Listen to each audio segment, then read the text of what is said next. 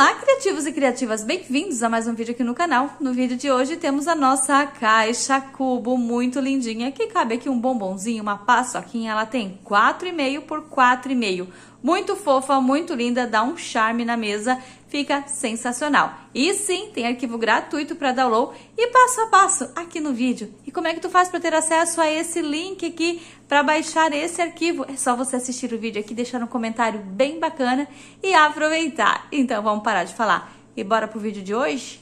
Vamos? Então, para começar, você vai fazer o download do arquivo e o arquivo é o primeiro link que está aqui ó, no box de informações. Ele está no tamanho de uma folha 4 em PDF. Você baixa ele, já vai ter o arquivo assim ó, com as duas caixinhas em uma folha só, ok?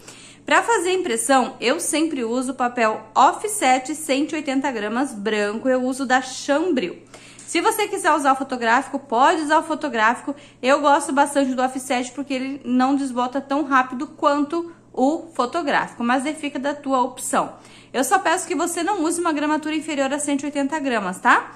E quem quiser saber, né, onde eu compro, eu compro na Shopee e eu deixo o link aqui no box de informações do vendedor onde eu compro, né, as minhas folhas. Eu compro 500 folhas, então o link que tem aqui tem um link das 500 folhas, mas eu também vou deixar um link de uma quantidade menor de folhas para caso você queira comprar, né? Só para fazer uma festa, que não queira tantas folhas quanto eu sempre compro, que são 500. Combinado?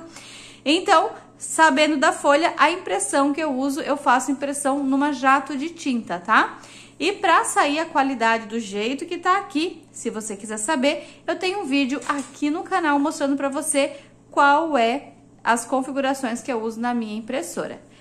Tá aqui, ó, no box de informações esse vídeo para você poder conferir. A minha impressora é uma Epson L380, mas mesmo que a tua não seja Epson L380, tu pode verificar e procurar essa configuração aí dentro da sua impressora. Combinado?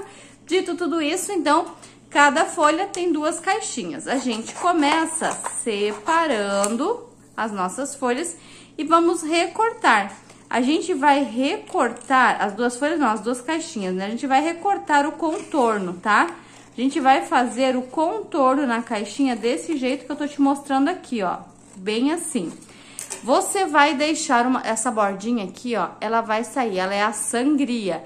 Então, ó, porque tu vai nesse recorte interno aqui, ó, fazendo todo o contorno. Com o recorte feito, gente, agora nós vamos aqui, ó, deixa eu te mostrar aqui, ó, nós temos aqui uma parte que também tem uma linha lisa, tá vendo? Nessa parte aqui, você vai vir e vai recortar com um estilete, para que ele faça assim, ó, ele vai ficar essa abertura aqui, tá vendo? Só ali.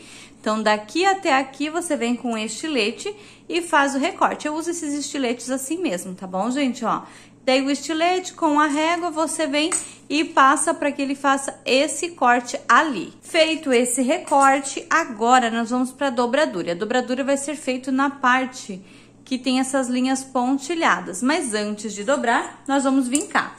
E para vincar, eu preciso de uma régua e um objeto que tem uma ponta. Eu uso esse daqui para demarcar, mas também deixo aqui no box de informações para vocês, se vocês quiserem, né, o link para comprar aqueles a, aqueles é, marcadores mesmo, sabe? Para você vincar os vincadores. Ou, se tu não tiver, tu não vai deixar de fazer. Tu pode usar tesoura aberta e puxar com a tesoura também. Então, existe várias possibilidades. A possibilidade que não existe é de você não fazer, certo? Até para imprimir Daisy não tem impressora, o que, que eu faço, Daisy? Você pega e leva na papelaria, pega o arquivo, manda aí no WhatsApp da papelaria e pede para papelaria para eles imprimirem para ti, numa lan house, certo? Então, ó, tu vai pegar a régua, vai colocar em cima da linha pontilhada e vai vir com o objeto pontiagudo. Ó, posicionei, tá vendo? Eu venho com o objeto pontiagudo e vou passar, ok? Ó, ele tem uma pontinha, eu vou passar para vincar, para marcar, pra gente saber aonde a gente vai dobrar e essa dobradura ficar, ó, o mais perfeita possível. Então, tu vem e não deixa passar nenhuma das partes, tá? Feito tudo isso, agora é só a gente ir nas partes que tem a linha pontilhada e dobrar com bastante cuidado, porque mesmo que a gente marcou, corre-se o risco, né, da gente acabar amassando a nossa peça. E não, é, e não é isso que a gente quer, a gente quer uma peça com um acabamento perfeito. Então, agora, ó, tu vai só dobrando desse jeito que eu tô te mostrando. Feito tudo isso, vou virar a caixinha assim, com a parte branca para cima e trago essa parte para cá, que tem essa aba pequena. Essa aba pequena aqui, ó, eu chamo de aba de ligamento, que é a aba que vai ligar um lado ao outro da caixa, tá vendo? E aqui eu vou passar a cola. A cola que eu uso é a cola pano. Sempre tô indicando pra vocês a cola pano, mas se você não tiver cola pano, quiser usar cola branca, cola bastão, pode usar à vontade, tá bom? Eu gosto da cola pano, porque eu acho que ela seca bem rápido, ela não mancha, então é uma cola muito boa e também tem um preço muito bom. Eu compro aqui na minha cidade, tá? Na loja de variedades, pago R$3,50. Mas para você que não é daqui, também vou deixar o link aqui no box de informações de compra na Shopee.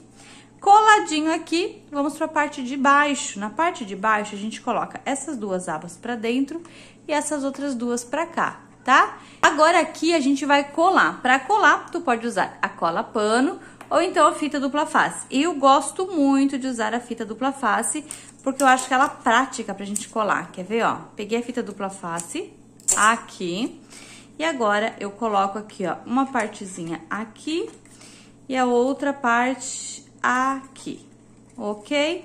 Agora é só vir aqui, ó, e tirar a película eu sempre coloco nessa aba maior, tá? Tu pode ver que essa aba aqui, ela é menor, ela tem essa viradinha aqui, e essas aqui são maiores. Então, ó, essas duas pra dentro e essas outras duas são as que vão fechar. Coloquei aqui, eu já nem apertei tão bem, eu já vou virar, abrir aqui, ó, e daí que eu aperto, pra que fique o mais reto possível a caixinha. Feito isso, a gente recheia Coloca essas abinhas pra dentro e vem com essa aqui, ó, que tem essa pontinha e ela vai entrar naquele cortezinho que a gente fez com o estilete.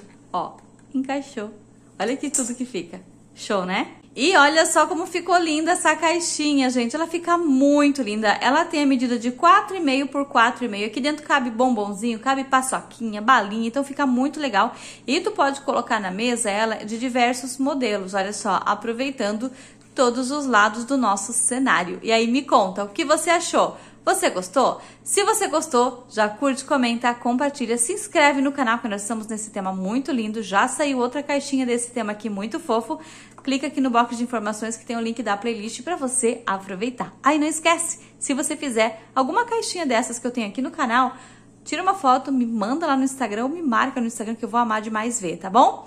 Então, muito obrigada por ter acompanhado. Já vamos deixar aqui o comentário, então? Caixa Cubo Circo. Eu vou amar demais curtir, deixar o meu coraçãozinho e um emoji muito fofo para você. Um beijo, fica com Deus e até a próxima. Fui!